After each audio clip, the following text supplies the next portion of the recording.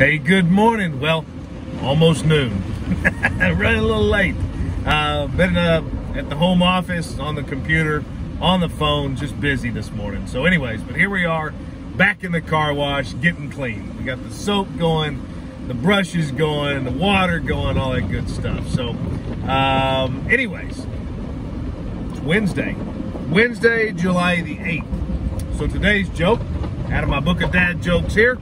Uh, did you hear about the steps everyone couldn't stop looking at? Did you hear about the steps that everyone couldn't stop looking at? Well, it was a flight of stairs. a flight of stairs. All right, poor delivery today, but hey, sorry, can't help you.